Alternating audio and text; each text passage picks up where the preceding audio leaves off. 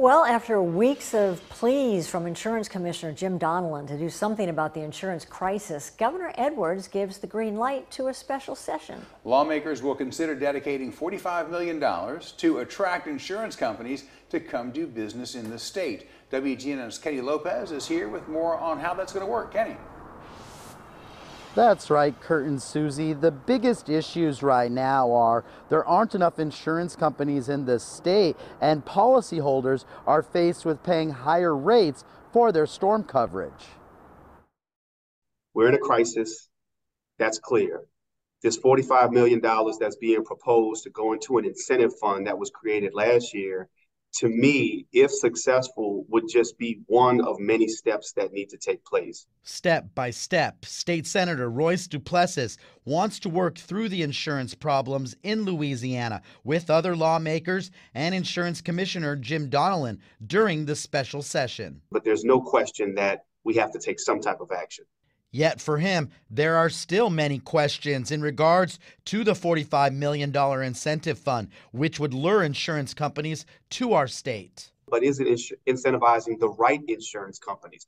We want good insurance companies that can come here and do business that can deliver in the time of need. After Hurricane Katrina, there was a similar incentive program, which is now raising more questions. We have to make sure that the companies who are actually coming here to do business are not fly by night companies. That's something led us to this point. So how are we going to prevent the same mistakes from happening? Now I feel the pain.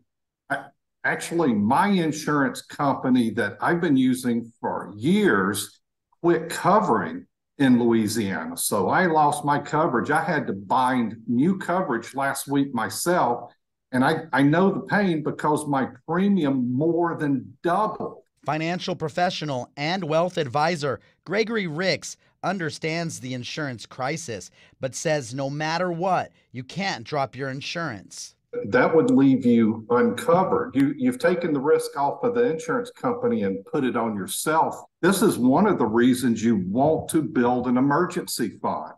So, one way to offset higher premiums is to be able to have higher deductibles. And ultimately, lawmakers say they want the special session to benefit homeowners. We have to work to try to find the solutions to reduce premiums, to reduce the costs that are being passed on to, to citizens,